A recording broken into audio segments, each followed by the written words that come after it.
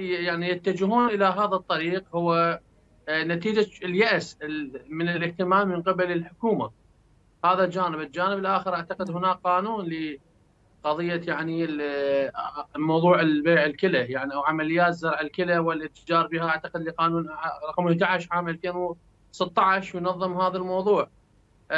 عمليات زرع الكلى اللي أو البيع الكلى اللي حصلت خصوصا بالآونة الأخيرة. نعم. من البصرة إلى بغداد ويعني استخدام يعني مقر إقليم كردستان بشكل خاص يدل إن هناك موضوع ابتعد عن موضوع يعني بيع أعضاء الكلى بل هناك متاجره بها. بالتالي هذا الموضوع يضع القوات الأمنية وبالخصوص وزارة الداخلية جهاز الأمن الوطني والمديرية المتخصصة بهذا الموضوع أن تكثف من جهودها نعم. وبالتالي الوضع الاقتصادي هو أحد أهم الأسباب اللي دعت هؤلاء الشباب أن ينخطوا بهذا الطريق وهذا موضوع خطير جدا ينعكس على حتى موضوع يعني قضية يعني الأمم المتحدة اللي هي صو العراق هو مصوت على هذه الاتفاقيات وبالتالي أعتقد وزارة الداخلية أعتقد منذ عملية البتاوين ألقت القبض على أكثر من 1800 من من ضمنهم يعني نسبة ليست بالقليلة للمتاجرين بهذا الموضوع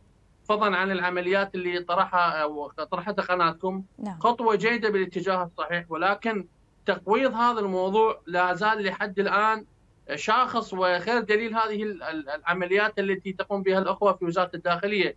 هناك أيضا تقرير دولي لعام 2022 نعم. شخص هذا الموضوع وقال الحكومة لا تمتثل لتلك الإجراءات ولكن تقوم بجهد.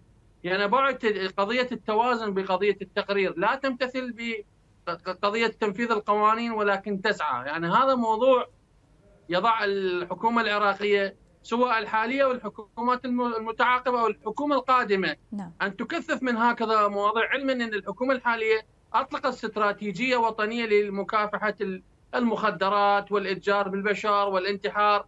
كل هذه النقاط تضعنا أمام مسؤولية. علما أن هذا الموضوع اللي نتكلم به هو موضوع تضامني. نعم. يعني جانب يختص به المؤسسات المدنية التي توعي بهذا الموضوع جانب يربطنا بالمؤسسة الدينية التي تتنوع على حرمة هذا الموضوع وجانب القوات الأمنية التي تركز على يعني العمليات الاستباقية وعملية إنفاذ القانون. طيب